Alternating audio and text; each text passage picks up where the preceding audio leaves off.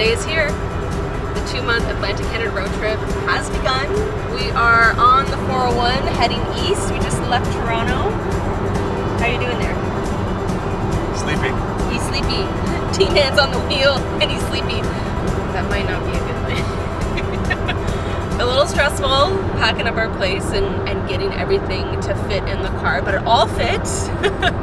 we left early this morning and uh, we only had to turn around once for something that I forgot, but we're now en route. We have a little over 700 kilometers that we want to tackle today, and our destination is Victoriaville, which is just between Montreal and Quebec City. So we have officially started the two month road trip.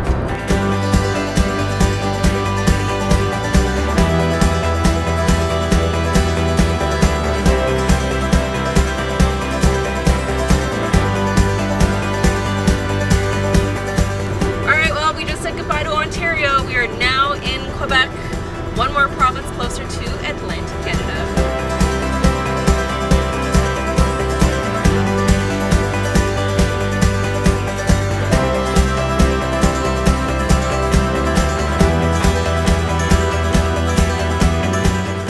just arrived at our stop for the night. We were in Victoriaville, Quebec, where we're going to spend the night, rest, relax before we hit the road again tomorrow. Good morning. We are back on the road. We've just left Victoriaville, Quebec, and we are headed to New Brunswick. Our destination is Mount Carleton Provincial Park, where we are going to be spending a couple nights camping.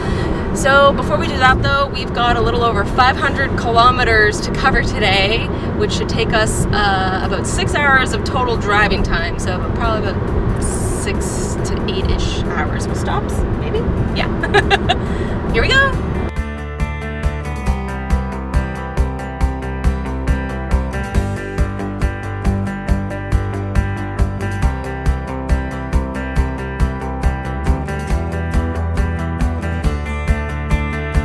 Official. We are now in New Brunswick.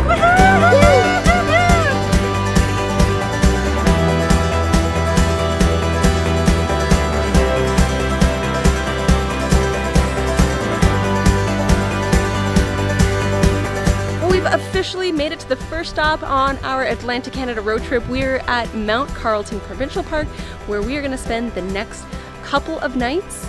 So, time to get our campsite set up and ready to go.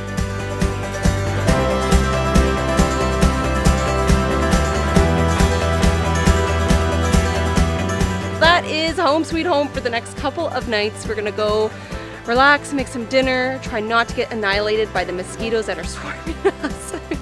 make sure to subscribe to my YouTube channel so you guys can stay up to date with all of the videos that are coming out from this road trip.